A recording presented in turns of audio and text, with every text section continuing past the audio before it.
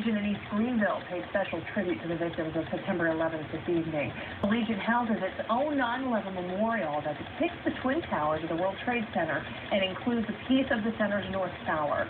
Today, members held a wreath-laying ceremony at the monument to remember those who lost their lives in those attacks.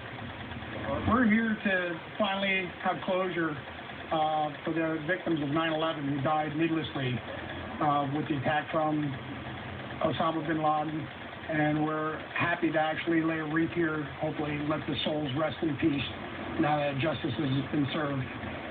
Members of the American Legion say today's ceremony was made possible by lots of community support.